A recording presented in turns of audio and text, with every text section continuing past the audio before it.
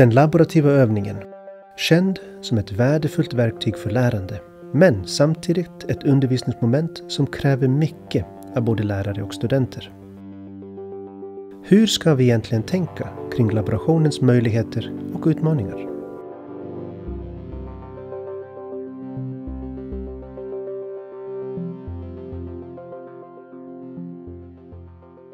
Ordet laboration väcker gärna associationer. Vi kan se framför oss människor i vita rockar som mäter, odlar, registrerar. Det händer någonting handfast. Den moderna laborationen växte fram under 1700 och 1800-talet i samband med intresset för att utveckla och renodla den vetenskapliga metoden. Genom empiriska experiment och exakta mätningar kunde fenomen begripas, dokumenteras och replikeras. Utrustningen var ofta mycket dyr och få hade möjlighet att bedriva laborationer. De laborativa övningarna kompletterade väl de traditionella undervisningsformerna, föreläsningar och utan tillärning av fakta. Anders Ångström lanserade den första formella laborationskursen i fysik vid Uppsala universitet redan 1862, där huvudsyftet var att lära studenterna göra noggranna mätningar. Laborationen utvecklades först i de naturvetenskapliga ämnena, men finns numera inom alla vetenskapsområden. Samhällsvetarna utforskar beteendemönster, språkvetarna övar på sina färdigheter i språklabbar. Vi har de traditionella våtlabbarna med pipetter och bägare och torrlabbar där huvudverktygen är datorn och andra mätinstrument. Det gemensamma nämnaren är det aktiva undersökandet som ett sätt att lära. Men varför är laborativa övningar pedagogiskt värdefulla? Hur lär vi oss genom labb? Ja, det är ju en sak att göra det i teorin och sen få göra det i praktiken. Då känner man av alltså hur det är. Men det, det är kul att komma ut och göra, alltså göra någonting praktiskt istället för att det kan bli lite enformigt att bara sitta hela tiden och lyssna på föreläsningar och anteckna. Så att få vara in the action, eller action, halvt i alla fall, så det är roligt. Inte så att det är akut. eller- Nej, exakt. Mm. Eh, jag brukar tänka på när man ska lära sig att cykla. Att man kan ta reda på alla delar och hur de fungerar i en cykel. Man kan eh, lära sig hur teoretiskt hur man cyklar. Men man kommer inte att kunna cykla innan man har testat på att cykla. Och det är lite samma med laborativt arbete. Att du kan förstå i teorin eh, hur allt hänger ihop i biologin. Men om du inte upplevt det så eh, kan du inte riktigt förstå det. Studenterna ska få en, eh, dels en chans att eh, visualisera abstrakta begrepp som vi har gått igenom eh, för att öka förståelsen men också kanske att de ska få en anknytning till forskningen och arbetslivet. Det uppmuntrar till att, att eh, få kreera själv, att göra själv, att inte bara sitta och vara passiv utan nu måste man faktiskt eh, använda sina kunskaper att få omsätta teorin i praktik.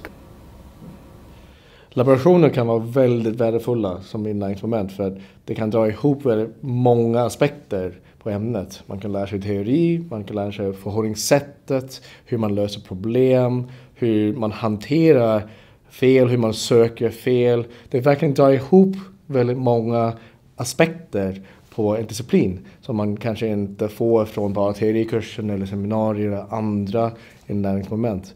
Så att det är så många möjligheter med en laboration. Det bästa tycker jag i labbet det är ju att man kan aktivera alla studenter samtidigt, hela tiden. Ehm, att de kommer hit med sina olika förkunskaper. Och i en vanlig klassrumssituation så är det många som sitter och har det lite långtråkigt stora delar. Men då kan ju jag aktivt sätta dem i jobb med en annan övning som de har större glädje av. Det tycker jag är väldigt positivt, att man kan individanpassa undervisningen mycket mer här i labbet. Ja, laborationen kan täcka in mycket. Att lära sig metod, föra samman teori och praktik eller lära sig disciplinens hantverk. Framför allt aktiveras studenterna på ett särskilt sätt som gynnar lärande.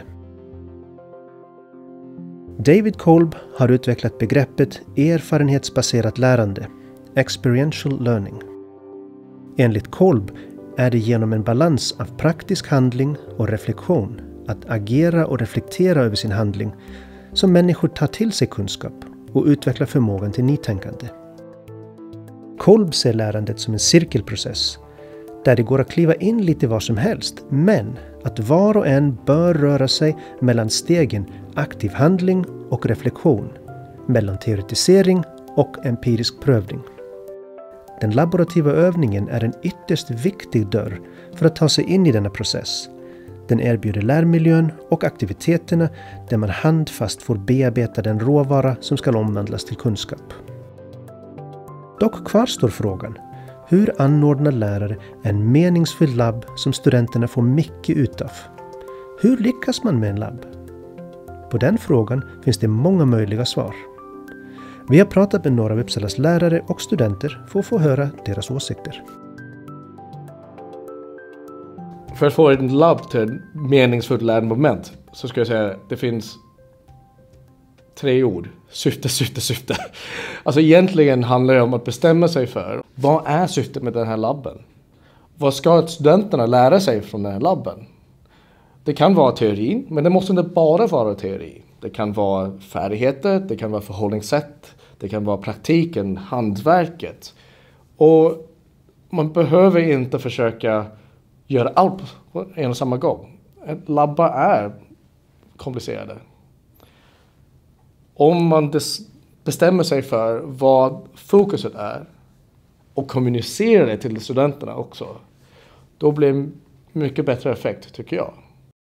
I planeringsfasen är det inte bara syftet som ska avklaras, men även praktiska aspekter och samordningen.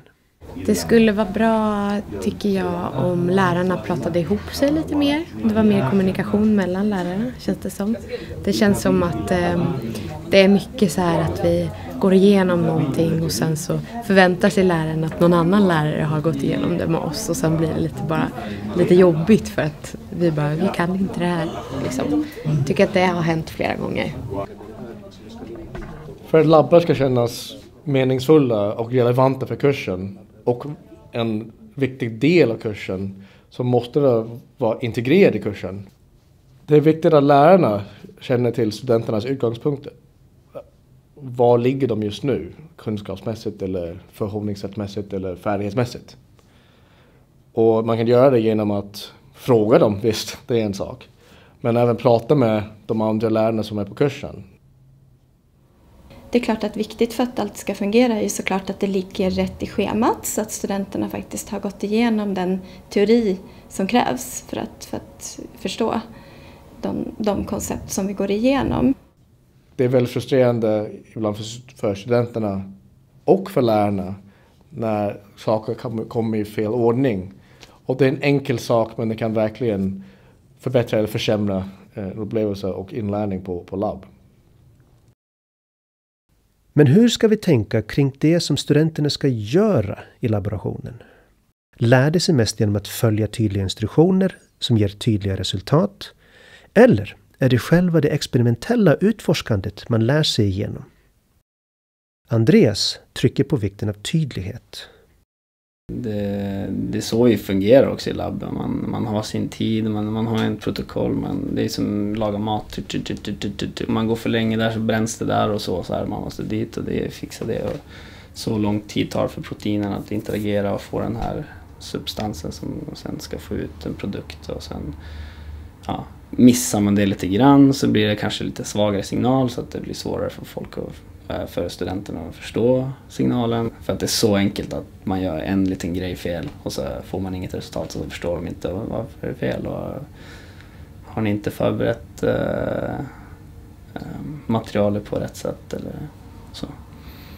Så ja, nej det är kontroll, 100% kontroll tror jag. Biologiska labbar i alla fall.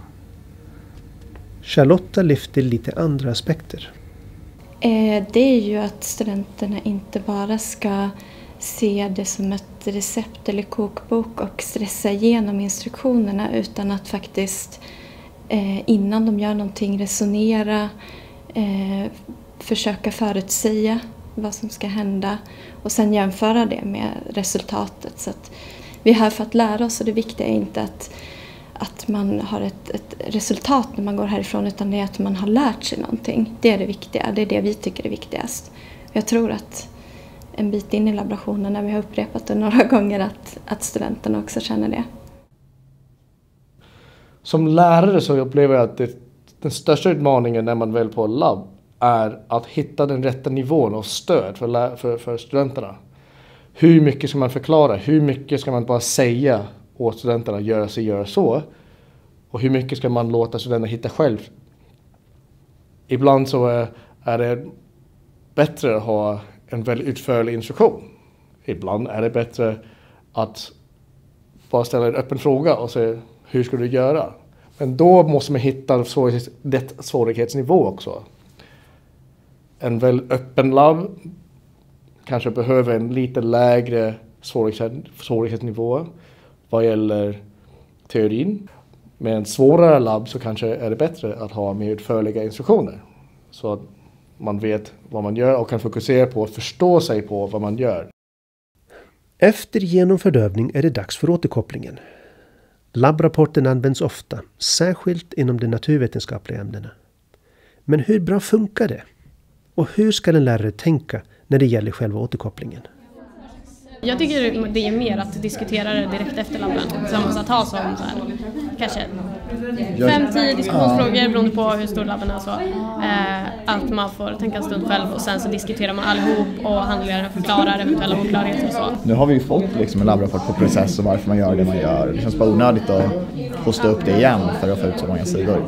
Som jag känner så är poängen med labbrapporten att förstå resultaten och eh, tänka på felkällor och det tycker jag att det blir mer effektivt om man gör det i diskussion och man får ofta fram fler tankar för då är det inte bara mina tankar utan då får jag också höra vad du har tänkt och vad någon annan har tänkt.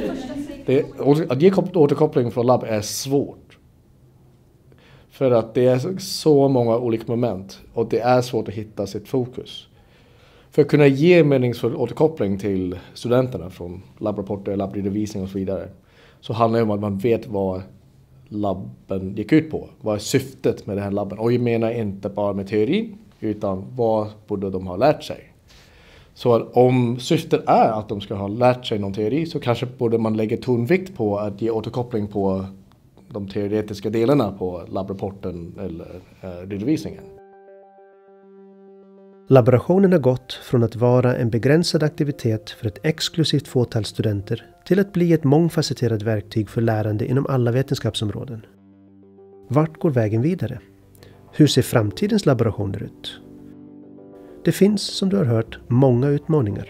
Hur anser du att en laborativ övning ska bli så bra som möjlig?